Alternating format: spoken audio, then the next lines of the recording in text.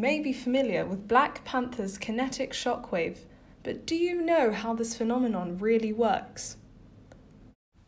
In 1842, Austrian mathematician and physicist Christian Johann Doppler first proposed the theory of the Doppler effect.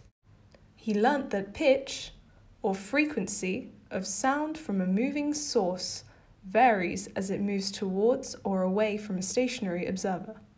Applying this to stars in orbit, he theorized that their light should change color with their velocities, depending on whether they move towards or away from the Earth. This was experimentally verified for sound in 1845 and for light in 1901. After a few modifications with the theory of relativity, the Doppler effect became a significant tool for astronomy. We can also see the Doppler shift in our daily lives. Like a passing fire engine siren will have a higher pitch when coming towards you and a lower pitch when it moves away. A similar thing happens with a supersonic jet. In the following example, we will consider this to be our sound source. Sound waves are emitted radially outwards in all directions at constant speed.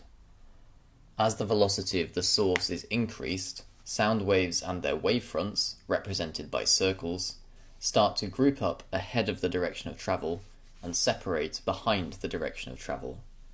At transonic speeds, meaning speeds very close to the speed of sound, wavefronts become grouped so closely that they interfere constructively and produce a shock wave.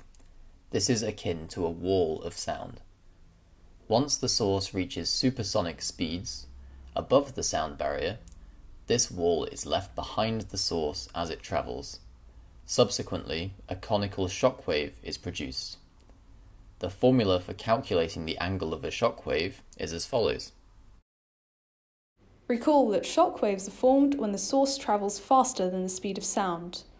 The angle of the shock front relative to the direction of motion depends on its speed. If the object travels at speed v object, the half angle alpha can be calculated as sine alpha equals the speed of sound divided by the speed of the object. The higher the speed, the narrower the cone. Since supersonic shock waves aren't exactly common, we would be more likely to experience the Doppler effect in other ways.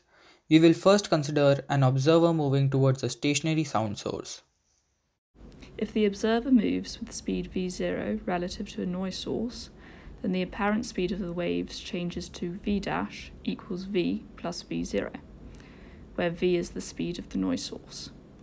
We can then calculate the observed frequency as follows. We use the equation frequency is equal to wave speed over wavelength, replacing wave speed with our newly calculated relative wave speed and rearrange. Now if the source is moving instead, the spacing between the waves will change, leading to a change in the measured wavelength. If the source moves towards the observer, the wavelength decreases. The opposite is true of a receding source. The speed of the sound is constant throughout, therefore the frequency will change.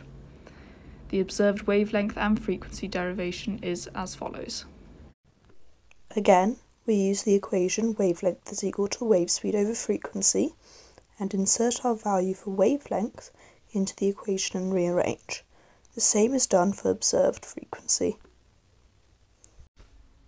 A widespread measurement technique for redshift is via spectroscopy, the analysis of stars' electromagnetic emission spectra. Stars' distinct emission patterns are shifted in wavelength by the constant expansion of the universe we can analyze these spectra and determine the approximate distance of astronomical bodies like stars or galaxies accordingly.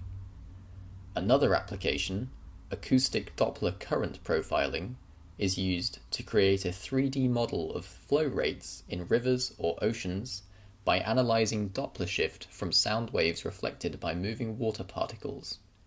At least three transducers are required for a 3D model, in this example, four are used. The effect is particularly useful for oceanography and military applications, for example, submarine route plotting.